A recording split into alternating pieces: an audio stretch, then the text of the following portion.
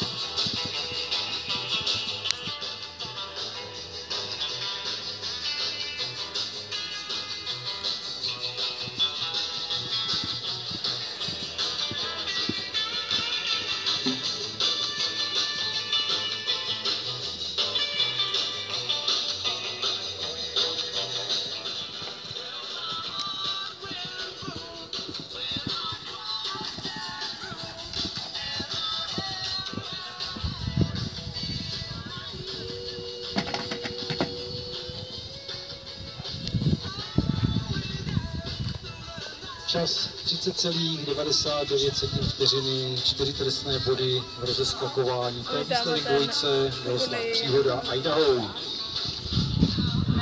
Před tribunou v kolbišti zdraví Tomáš Hůlka, Alessio, ze stáje TH Equipment.